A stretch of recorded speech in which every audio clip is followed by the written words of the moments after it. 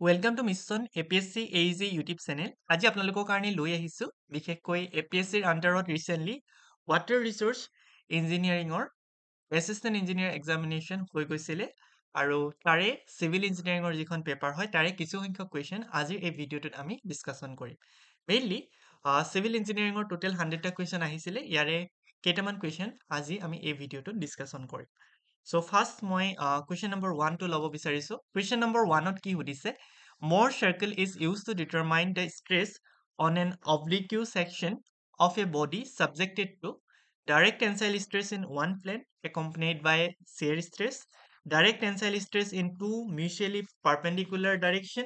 then direct tensile stress in two mutually perpendicular direction accompanied by a simple shear stress. এতিয়া যদি আমি চাওঁ আমি মৰ চাৰ্কল যদি ড্ৰ কৰোঁ মৰ চাৰ্কলে মেইনলি গোটেইখিনি বস্তুৱে উলিওৱাত সহায় কৰে। That means direct tensile stress in one plane that can be find out direct tensile stress in two mutually perpendicular direction সেইটো উলিয়াব পাৰি। তেনেকৈ direct tensile stress in two mutually perpendicular direction accompanied by a simple shear stress সেইটো উলিয়াব পাৰি। চ' সেইকাৰণে আমাৰ correct option হৈ গ'ল। অপশ্যন নম্বৰ ডি ৰাইট তাৰপিছত আমি নেক্সটলৈ আহিছোঁ। নেক্সট কি কুৱেশ্যন সুধিছে? কুৱেশ্যন নম্বৰ টুত সুধিছে The continuous strain which the concrete undergoes due to the application of external load is called. So এতিয়া যদি আমি চাব খোজো মেইনলি যদিহে কংক্ৰিটত কণ্টিনিউৱাছলি আমি যদি ষ্ট্ৰেইন এটা প্ৰডিউচ কৰি থওঁ তাৰ কাৰণে বা কণ্টিনিউৱাছলি যদি আমি এক্সটাৰ্নেল লোড এটা ৰাখি থওঁ তাৰ কাৰণে এটা কণ্টিনিউৱাছ ষ্ট্ৰেইন ডেভেলপ হয় আৰু তাক আমি কি বুলি কওঁ লেট ছাপ'জ আমি স্লেবত বহু সময়ৰ কাৰণে যদি আমি কণ্টিনিউৱাছলি এটা কনষ্টেণ্ট লোড ৰাখি থওঁ লেট ছাপ'জ আমি বল্ডাৰ এটা ৰাখি থওঁ কিছুদিনৰ পিছত আমাৰ কি হ'ব? তাতে অকণমান বেণ্ড আহিব বা তাতে চাৰ্টেন ডিফৰ্মেশ্যন বা চাৰ্টেন ষ্ট্ৰেইন আহিব ৰাইট চ' সেইটোক আমি কি বুলি কওঁ? তাক আমি ক্ৰিপ বুলি কওঁ। Creep is basically nothing but time dependent strain under sustain loading so' it is depends on time so' কিমান বেছি টাইমৰ কাৰণে ৰাখিছা? সিমান বেছি কণ্টিনিউৱাছ ষ্ট্ৰেইনটো বেছি হৈ হৈ গৈ থাকিব ৰাইট অপশ্যন নম্বৰ ডি টো কাৰেক্ট হৈ যাব কুৱেশ্যন নম্বৰ টু ৰেচপেক্টত নেক্সট আমাক এটা ৰুলিং লোড দি দিছে। আমাক সুধি আছে what is the maximum bending moment at C that means এই মিড পইণ্টটোত আমাৰ মেক্সিমাম বেণ্ডিং মুমেণ্ট কি হ'ব? Because of ten kilometre root আৰু আমি জানো কি? মেইনলি মেক্সিমাম বেণ্ডিং মুমেণ্টৰ কাৰণে আমাৰ ফৰ্মুলাটো আছিলে W L by four right so' ইয়াতে যদি আমি চাওঁ what is W W is ten L is ten because ইয়াৰ পৰা এইটো মিড পইণ্ট আহিছে five two five so' that is ten divided by four so' you will get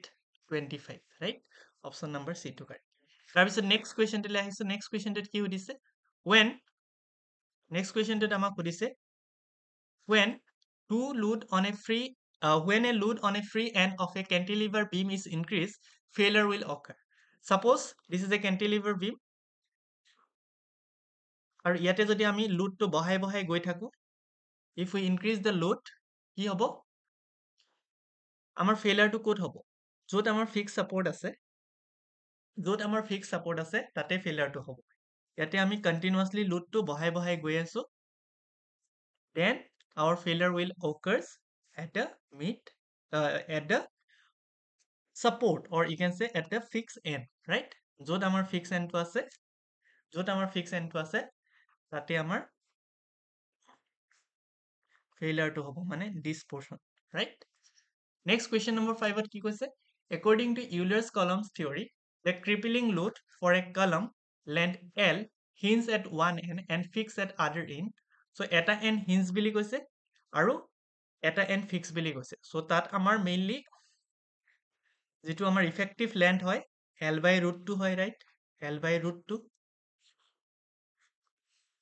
so' L by ৰুটটোক যদি আমি pi square E by L L effective square ফৰ্মুলাটো লিখোঁ means pi square E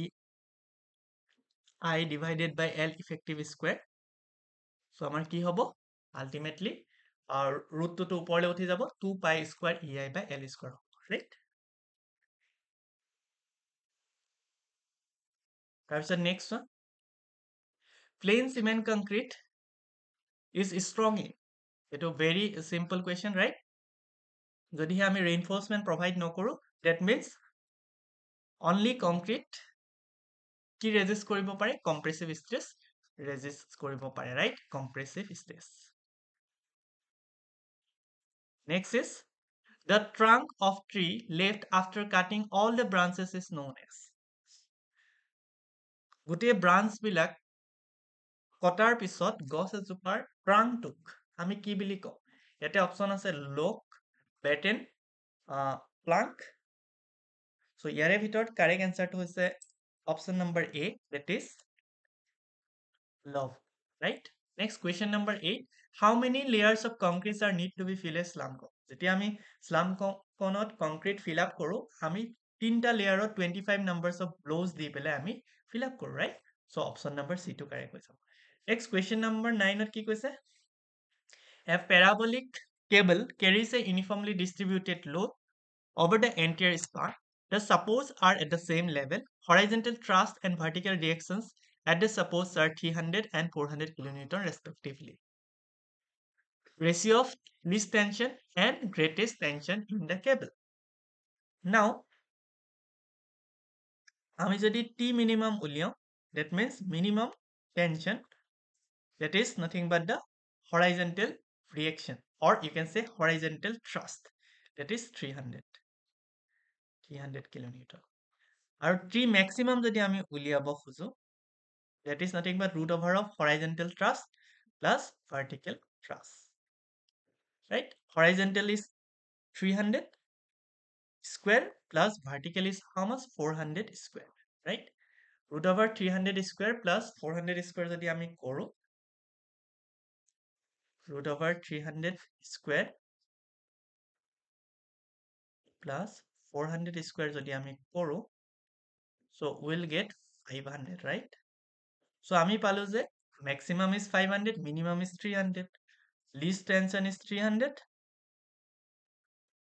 maximum tension is 500 so সিহঁতৰ ৰেচিঅ'টো কিমান হ'ব 3 by 5 3 by 5 মানে কি 0.6 option number C টো correct next Question number 11 কি কৈছে two shaft A and B are of the same material if the diameter of A is thrice the, the diameter of B then the torque that can be transmitted by A will be so আমি যদি torque চাওঁ torque is nothing but it is directly proportional to the cube of the diameter of the shaft so এতিয়া আমাক প্ৰথমটোৰ ডায়ামিটাৰটো T three times কৈছে ছেকেণ্ডটোৰ ডায়ামিটাৰতকৈ চ' টিটো কিমান times বেছি হ'ব three D whole cube, right? 3d whole cube কৰিলে আমাৰ কিমান হ'ব 27 times that of b কে ডাঙৰ হ'ব right so question number 11 ৰ correct option টো হৈ যাব option number b next question question number 12 ত কি কৈছে at two two span continuous beam ABC is simply supported at A and C and continuous over the support B span AB 6 meter BC 6 meter the beam carries a UDL of 2 ton per meter over both the span EI is constant, that is flexural rigidity is constant for the entire beam. The fixed end moment at B in span BA or BC will be. আমাক fix end মোমেণ্টটো বিচাৰি আছে so তাৰ কাৰণে আমি কি কৰিব পাৰোঁ we can use three hinge theory right so' using three moment theorem আমি যদি চাওঁ থ্ৰী মমেণ্ট থিয়ৰমত আমাৰ কি হ'ব this is the equation 2mb L1 plus L2 minus 6 A1 X1 bar divided by L1 A2 X2 bar divided by L2. So ইয়াতে আমি যিহেতু MA আৰু MC 0 পাওঁ সেই portion খিনি নাহে আমাৰ 3 moment theoremত only this part will come right so from there আমাৰ যদি আমি এইখিনি calculation কৰো ultimately আমাৰ MB ৰ value টো 9 ton per meter পাম right so এবাৰ answer এইটো চাই ল'ব পাৰা so that is 9 ton meter ঠিক আছে So that is the fixed end moment. Next question, question number 13 কি কৈছে the percentage of alumina in a good brick clay clear ক্ষেত্ৰত alumina percentage to 20 পৰা 30 percent ৰ ভিতৰত থাকে